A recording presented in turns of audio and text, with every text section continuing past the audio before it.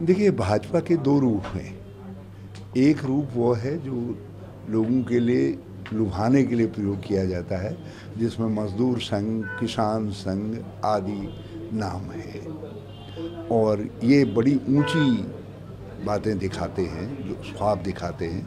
और जब भाजपा को मौका मिल जाता है तो उसका ठीक उल्टा करती है, जो आज कर रही है। आज तो किसान की ज़मीन खतरे में है, एमएसपी खतरे में है उसकी मंडी खतरे में है उसके परचेजिंग एजेंसी एफसीआई खतरे में है और तो छोड़ो गरीब की सस्ते गले की दुकान भी खतरे में है। सर सुप्रीम कोर्ट का जो पैनल था उनमें एक मेंबर है उन्होंने सुप्रीम कोर्ट के चीफ जस्टिस को लिखा उन्होंने बोला है कि जो रिपोर्ट है उसे पब्लिक करना चाहिए। आपका भी यही मानना है कैसे देखते हैं? देखिए जो चीज़ें या तो रिपोर्ट कोई बने नहीं बनती है तो उसको विमर्श के लिए बाहर लाया जाना चाहिए। ताकि प्लस माइंडनेस हर चीज़ के होते हैं वो चीज़ें लोगों के सामने आ सकें उस पर चर्चा हो सके। करनाल में भी आज वाटर कैनन चले किसानों पे और जब वो बात करने गए सेक्रेटेरिएट में तब भी काफ़ी क्लैशेज हुए वाले। तो कैसे देखते हैं? देखिए खट्टर ने ये सोच लिया है कि मुझको किसानों के ऊपर इतना अत्याचार कर देना है कि किसान तौबा कर जाए। हरियाणा इस समय किसानों पर अत्याचार की धरती बन गई है।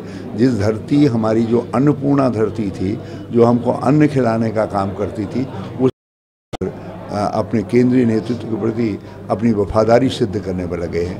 सर, एक क्वेश्चन है कि असदुद्दीन ओवैसी अभी यूपी का चुनाव नज़दीक है। असदुद्दीन ओवैसी ने भी कहा है कि बाबरी मस्जिद का डेमोलिशन हुआ था अयोध्या में। पूरी दुनिया ने देखा था, मगर अब सेकुलर पार्टीज़ उसके ऊपर मेंशन करने से भी बचती हैं। देखिए, सुप्रीम कोर्ट के निर्णय के बाद हम लोगों को बहुत चीज़ें संभल के कहनी पड़ती हैं। ये सर्वसम्मत निर्णय था और हम ये समझते हैं कि एक दुखद अत्याय था, वो किसी तरीके से ख़त्म हो गया।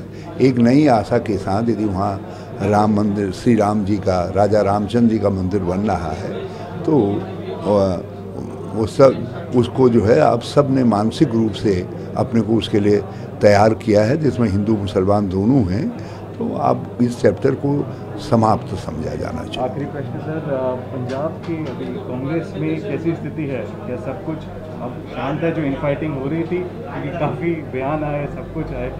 क्या स्थिति है अभी देखिए पंजाब बहादुरों की धरती है लोग अपनी बात कहते हैं बलपूर्वक कहते हैं शक्ति के साथ कहते हैं और लोगों को लगता है कि आप तो कुछ झगड़ा होगा लेकिन ऐसा नहीं है।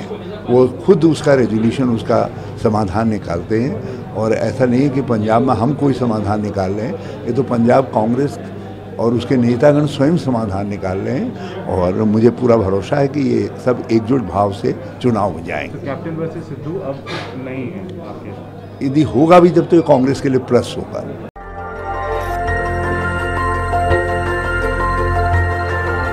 देखते रहिए डीबी भारती समाचार नज़र हर खबर पर।